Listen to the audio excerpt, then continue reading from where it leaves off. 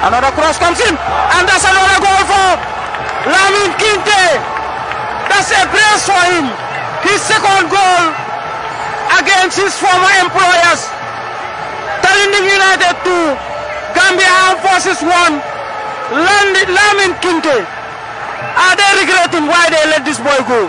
Before, before that, I told you they will struggle in the second period, but before this.